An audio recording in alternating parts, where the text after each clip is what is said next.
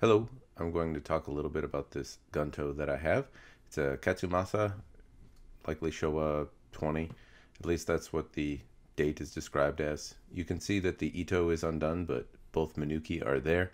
I don't know if the Ito is original, but it seems like a an easy project to fix. The Tsuka seems in decently good shape, at least the core wise, but the little push button doesn't work properly the Saya is a hefty metal case, and it it's uh, well, it's got all sorts of pings and dings and whatnot, but it did go through war. So the blade is 26 inches, and the handle's about 10 and a quarter inches. Overall, it has a very comfortable shape. It feels pretty stout, and it feels like it'd be a a good practice cutting blade. Uh, but well, I mean that's what it was intended for, right? Is cutting, but uh, overall it, it looks good. It has lots of scratches but nothing major in terms of deformities no uh, fatal cracks or anything that really stands out that would deter from it uh, functioning properly.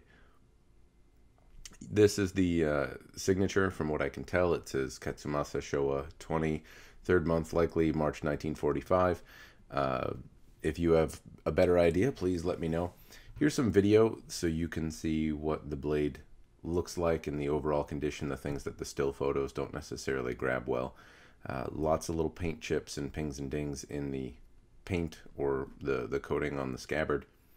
No major dings or anything that prevents it from functioning as a scabbard. I will say that the push button doesn't work uh, to release or the latch release. That's likely something that could be remedied if it were refitted or restored properly. All of the pieces seem to be there. Both Menuki are present, as I mentioned before. The blade, here in this video, you can see there are some smudges, some scuffs, some scratches. Uh, there's some small amounts of oxidation and pitting. Overall, though, it, it's still in, uh, in very functional shape. It's sharp and it looks like it would cut pretty well. I'm actually kind of surprised at the polish level on these military gunto. Uh, you know, they're better than a lot of the Chinese production pieces that that I see in terms of how the Kissaki is formed and polished, which is a treat. I don't have many gunto, so I, I enjoyed kind of kind of seeing the difference between those two because you wouldn't expect it to necessarily look great given its intended purpose.